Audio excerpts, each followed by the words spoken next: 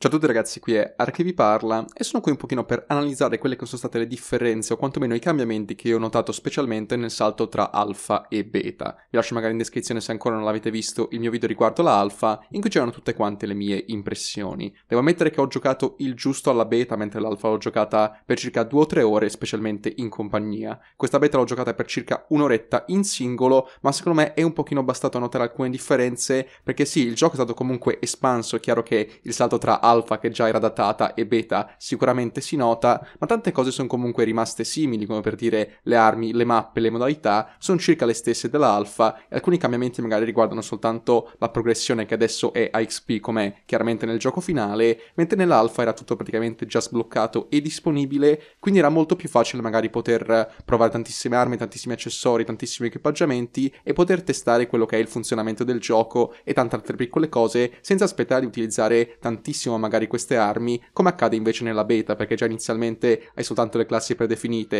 e devi sbloccare a livello 4 come sempre, crea una classe, dopodiché utilizza l'arma e fai i livelli per sbloccare magari gli accessori, un mirino, un freno di bocca, qualcosa del genere, quello che è il sistema dell'armaiolo che adesso è molto molto dettagliato e con tantissima scelta, ma per questa scelta c'è anche il problema del fai tanti livelli dell'arma perché questi accessori vanno sbloccati se vuoi finalmente utilizzarli. Quindi la primissima grossa differenza che ho notato è che io sono arrivato nella beta con soltanto la parte aperta per PlayStation non avendo ancora preordinato il gioco e ci sono alcune persone che, devo ammetterlo, stavano tryhardando veramente potente, erano già a livello abbastanza alto, quindi rispetto a me avevano già magari equipaggiamenti migliori, armi molto accessoriate ed erano magari molto più scaldate rispetto a me che ero appena arrivato nella beta giocando l'alfa giusto per qualche ora, mentre altre persone sapevano praticamente magari a memoria le mappe, per bene le bandiere di dominio e tutto il resto, ma quello è molto classico come anche COD nel gioco finale che se uno gioca poco contro uno invece che gioca da sempre o ha giocato sicuramente più di lui, c'è chiaramente quella differenza e quel vantaggio e quello è ovviamente innegabile. La grossa differenza che ho notato rispetto all'alfa è un time to kill leggermente più breve, infatti l'M16 che già era forte nell'alfa, nella beta disintegra con soltanto una raffica e l'ho trovato veramente molto molto efficace, specialmente nella classe predefinita che è già in parte accessoriato e la classe sinceramente è molto simile a come la utilizzo anche io e mi ci sono trovato molto bene. L'altra cosa su cui ho fatto un intero video a riguardo era lo skill-based matchmaking. Ripeto, io non sono sicuramente quello più preparato o migliore per fare un argomento, comunque una discussione riguardante questo piccolo problema, ma sembra che i social, specialmente Reddit, siano tempestati di discussioni riguardante questo maledetto skill-based matchmaking e devo ammettere che già un pochino nella beta si potevano notare alcuni sistemi del genere perché, come detto prima, alcuni stavano tryhardando e lo posso capire, è un'alfa, si stanno magari preparando come sarà Cold War, il gioco finale, quindi impararsi le mappe, le modalità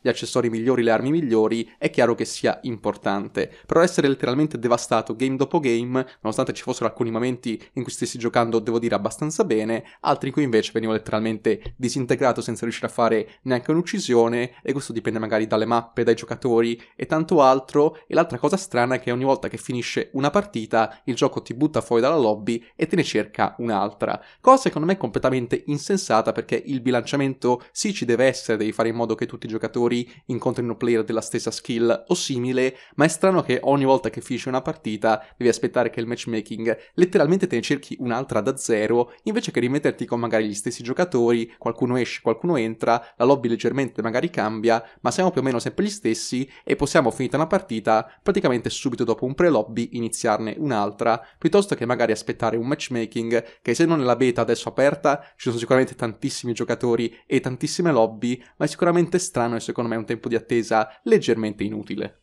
Come ho detto prima, avendo già giocato l'alfa, devo ammettere che alcune cose le avevo già viste più e più volte, quindi ho giocato la mappa Mosca sette volte consecutive ed è stato veramente insopportabile, ma anche le altre, come per dire una Miami, una Cartel e robe del genere, erano mappe che avevo già visto e già ampiamente giocato nella alfa, le armi anche circa erano sempre le stesse, qui non ho visto chissà quali differenze e anzi adesso c'è, come detto prima, il problema della progressione, mentre prima potevo letteralmente provare subito una classe, adesso devo in realtà giustamente sbloccare tutto quanto, quindi forse l'errore l'errore è stato darci questa piccola abitudine magari nell'alfa di avere tutto quanto bello pronto e disponibile e invece poi nella beta darci il classico sistema di progressione che vi ricordo comunque offre alcune ricompense tipo arrivati a livello 10 nel gioco finale avrete la skin di Adler e alcune piccole cose del genere che comunque possono fare comodo. Le altre differenze che ho notato è forse un bilanciamento leggermente migliore delle serie di uccisioni che hanno dei cooldown molto più brevi per le kill streak o score streak dovrei dire leggermente più deboli come un aereo spia o un'artiglieria mentre quelle veramente grosse come un supporto aereo è molto più difficile tirarle una dopo l'altro e anche il moltiplicatore di punteggio per quando siamo in serie è leggermente più basso. Questo ha senso perché mi ricordo che nell'alfa, arrivati a 10-12 di fila, il moltiplicatore era abbastanza prepotente, tipo 300-400 punti a uccisione, quindi arrivare a 3000-4000 era relativamente abbastanza veloce, ricordava i tempi di Black Ops 1 per dire dove bastavano soltanto 9 uccisioni per fare un supporto aereo, 11 uccisioni per un elicottero, cani, che erano molto molto forti, quindi è chiaro che deve esserci un bilanciamento fatto bene per questo nuovo sistema di score streak quasi a supporto di MV3 che morendo non si azzera e si può andare avanti appunto con queste specie di serie di uccisioni che moltiplicano il punteggio. Gradirei vedere un aumento del punteggio specialmente per gli obiettivi, raccogliere piastrine, bandiere e altro che so che in parte hanno già fatto, ma secondo me non è abbastanza perché se una kill già 4-5 di fila mi dà 150-200 punti e una piastrina del compagno me ne dà 15, una nemica 50, non saprei quale sia il bilanciamento giusto per aumentare il punteggio di questi sistemi, ma chiaramente non sono spinto tantissimo a giocare per obiettivi in modalità come uccisione confermata o dominio, dove i moltiplicatori di punteggio o le aggiunte sono veramente minime rispetto alle uccisioni che posso fare. Poi è chiaro che magari molti giocatori sono molto più concentrati sul fare più kill possibile, ma per chi magari vuole come me raccogliere giusto ogni tanto una piastrina, conquistare una bandiera, non c'è un incentivo così grande. Un altro piccolo problema che ho già visto hanno risolto Treyarch, stati veramente bravi a twittarlo, il fatto che mi capitava molto spesso di entrare in partite già iniziate e in partite in cui stavo venendo devastato. Mi ricordo che sono entrato in una partita di dominio proprio all'intermezzo e stavamo perdendo 37 a 100 e letteralmente spontrappati, sponkillati tutta la partita. Quello non è stato sicuramente divertente e un po' bruttino e sembra che stiano cercando di evitare di entrare o così spesso o praticamente mai entrare in un game già iniziato. Ci può stare che se la lobby è vuota qualcuno debba entrare, ma è chiaro che la lobby è vuota perché stanno venendo tutti quanti distrutti da giocatori magari molto più capaci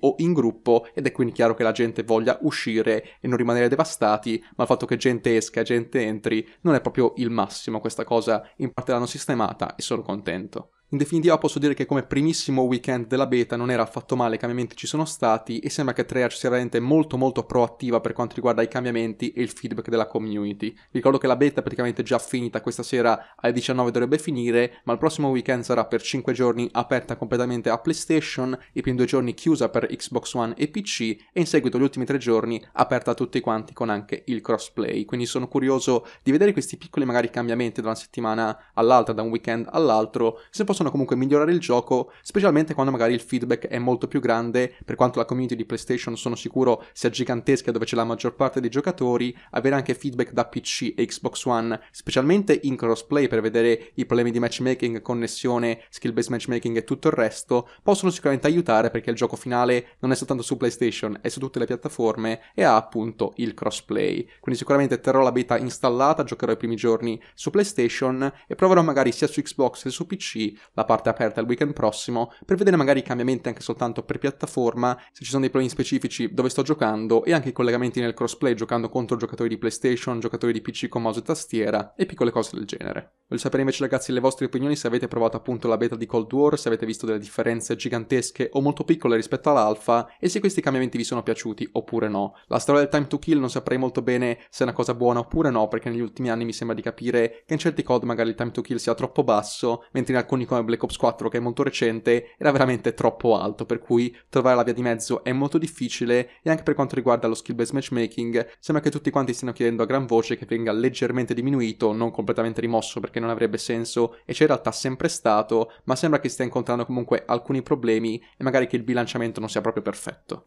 Il video quindi si conclude qui, spero come sempre che vi sia piaciuto. Trovate qui sotto in descrizione il link per i miei social che vi invito a seguire, tra cui Instagram, Twitch, vi invito a aggiornare il mio canale Discord, vi invito a seguirmi anche qua su YouTube. Noi ci vediamo come sempre a un prossimo video. Un abbraccio, ala.